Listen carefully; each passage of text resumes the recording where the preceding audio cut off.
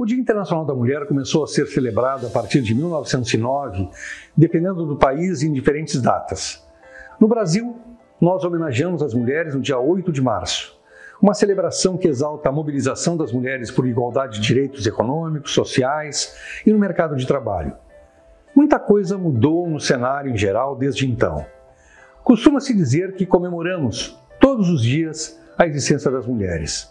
Seres que naturalmente se destacam cada vez mais pela sublime força, coragem, capacidade, dedicação e forma de exercer o poder.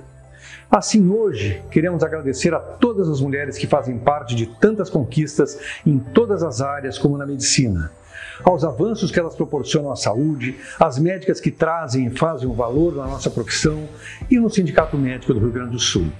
De maneira especial, gostaríamos de homenagear as médicas que compõem a direção do nosso sindicato. As médicas, mulheres que não só estão presentes profissionalmente, protegendo vidas, mas ainda agregam ao seu trabalho a capacidade de trazer ao mundo novas vidas.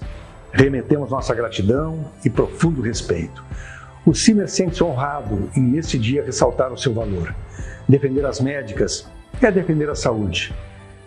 Hoje em todos os dias.